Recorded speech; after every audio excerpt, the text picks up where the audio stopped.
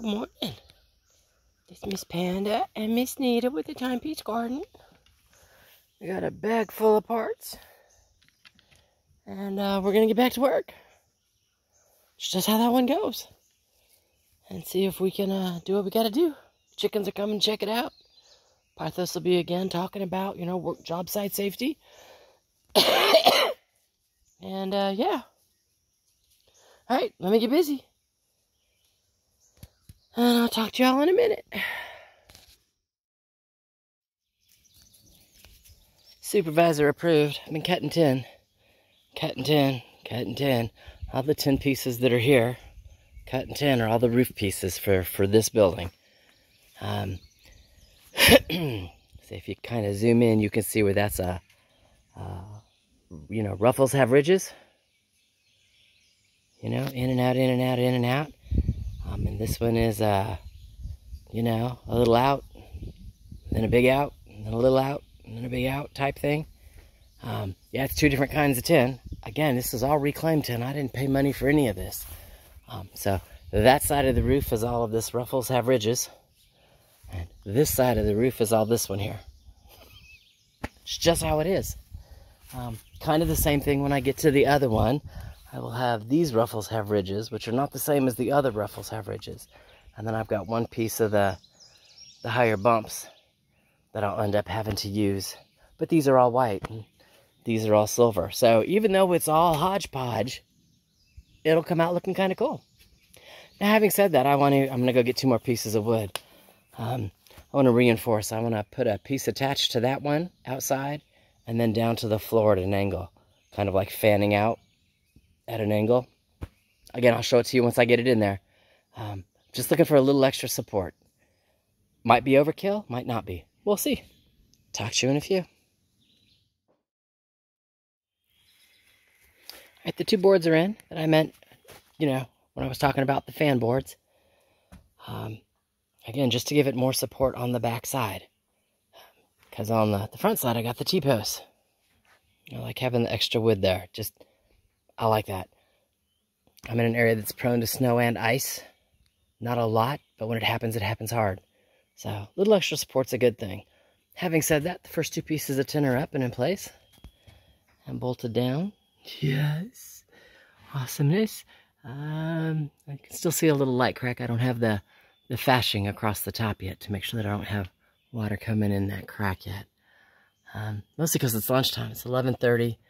Um, I decided as I put the boards up, I'd go ahead and put my sealant for the old holes in. Where'd it go? There it is. Um, you can see it, it's looking a little bubbly. A little white bubbly. No, it will dry clear, and that's how I know it's dry. And can look and or check for holes. But uh, I figured I'd go ahead and do lunch first. give the, you know, give the, the holes on this piece a, a, an, an opportunity to dry. And then I'll come back and I will actually start attaching the, uh, the upper piece of flashing to that end. Um, and do that because that way as I put the, the pieces on and work my way forward, um, the ground height here at this end is really close to the overall height of the deck. So when I do the final piece, I can reach where on this side, there's almost a foot difference between where the dirt is and where the floor starts. Um, makes, it'll make it really hard to reach that end. So, it's all right. That's the plan. I'll make it work one way or another. And um, having said that, I will talk to y'all after lunch.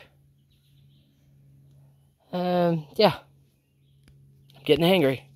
Talk to you later.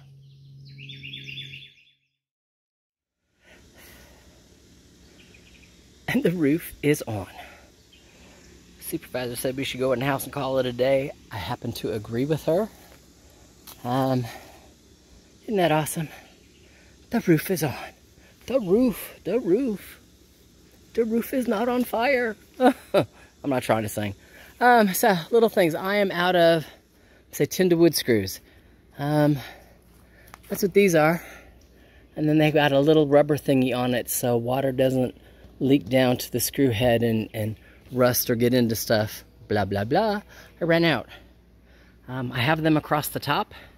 I'm not going to zoom in, and I got one there across the edge. Again, I'm not going to zoom in. Um, that side is missing, and then I stuck two deck screws here just to make sure it stays down until I get to the store to buy some more. Um, yeah, they're like 15 cents a piece. It's not an issue, but I'm, I'm not planning on going into town until like Monday after gym. You know, so it's got to go a couple of days with some deck screws. It will survive. Um, and then from the inside, this is all that one side, one kind of tin. Um, you can still see I've still got some some holes to fill where you can look at I know I have some. There's one. You can see how that looks kind of a uh, it's not bright and shiny. It's because the the caulk stuff is there to seal it. Um, same thing on this side. You can see where that hole has been filled and that hole has been filled and those two holes are still wide open. You can see the grass and the trees through the hole. so I've still got some holes to fill. And I'm going to go ahead and fill those. And having said that, this is the, the Ruffles have ridges. Up until there.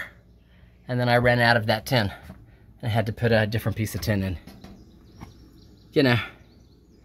So I wouldn't have a hole here. But life is awesome. You know? it's covered. And it's the farthest side in the corner, back where the shrubs are. So unless you're hiking back there for some reason, picking mulberries, you'll never even notice it. It's awesome though. My opinion. You know, I'm partial to my own work.